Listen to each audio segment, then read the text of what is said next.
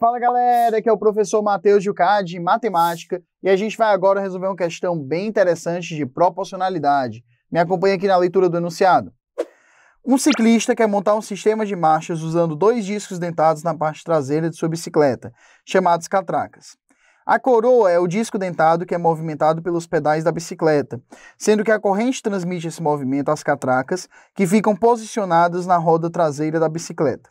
As diferentes marchas ficam definidas pelos diferentes diâmetros das catracas, que são medidos conforme indicação na figura.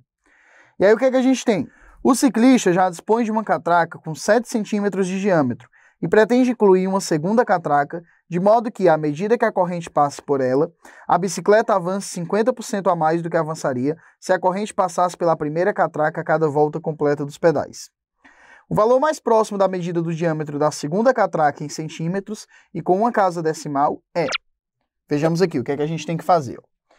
Observe a situação descrita. Você tem aqui a roda que está ligada ao pedal, aí ela é ligada por uma corrente à catraca e a catraca é ligada à roda da bicicleta. O que o ciclista avança é o que a roda da bicicleta gira.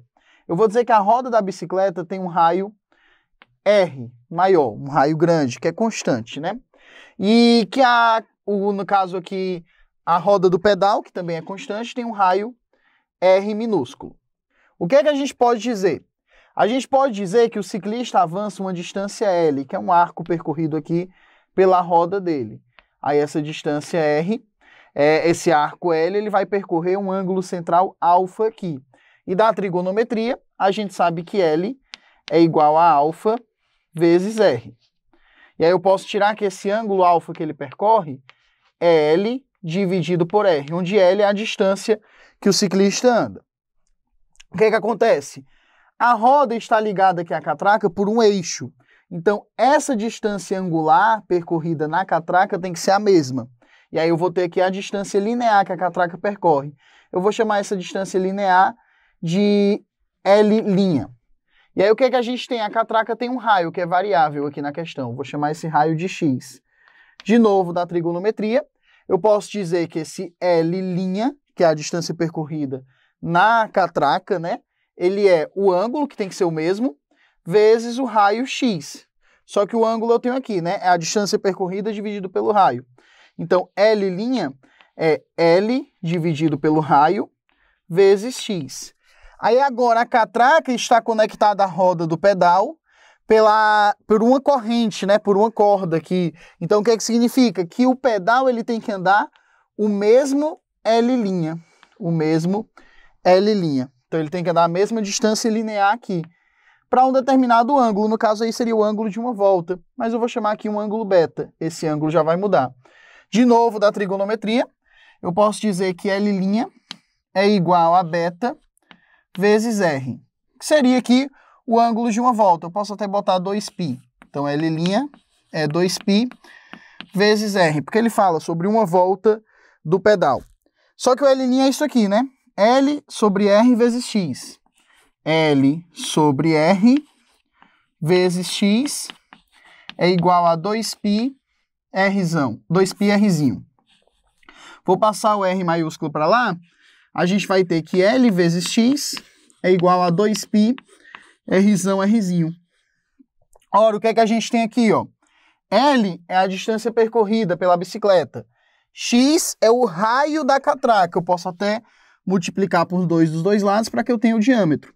Então, multiplicando aqui por 2 dos dois lados, só para usar exatamente a mesma referência da questão, eu vou ter que L vezes 2x, que é o diâmetro, então, a distância percorrida pela bicicleta vezes o diâmetro é 4π Rzão Rzinho. E 4π Rzão Rzinho, como o raio da roda da bicicleta não muda e o raio da roda que está no pedal também não muda, é constante. Então, o que, é que a gente concluiu?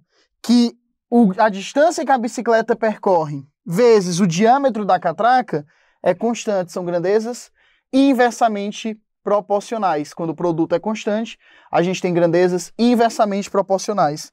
E aí a gente vai agora resolver a questão. O que é que eu posso dizer? Eu posso dizer que a distância que a bicicleta percorre na primeira situação vezes o diâmetro da primeira situação é igual à distância que a bicicleta percorre na segunda situação vezes o diâmetro da segunda situação, porque a gente viu que isso aqui tudo é constante. E aí, o que, que ele pediu? Ele pediu que a bicicleta avance 50% a mais, né? Que a bicicleta ande 50% a mais. O que, é que significa isso? Que essa distância que a bicicleta percorre na segunda situação é a distância da primeira aumentada em 50%. Para dar um aumento de 50%, a gente multiplica por 1,5. Aí eu vou ter que L1 vezes o diâmetro 1, o diâmetro da primeira situação a gente tem, né? Que é 7, é igual ao, a distância percorrida na segunda situação, 1,5 vezes a primeira, a primeira aumentada em 50%, vezes o diâmetro da segunda situação, que é o que eu quero descobrir. Aí aqui no caso, ó, a distância percorrida na primeira situação cancela, você vai encontrar que o diâmetro na segunda situação precisa ser 7 dividido por 1,5. E aí esse diâmetro na segunda situação, ele é aproximadamente 4,7. E aí 4,7 é o que a gente encontra na letra C. Então letra C é a resposta correta da questão e eu volto a encontrar você no próximo vídeo. Até lá!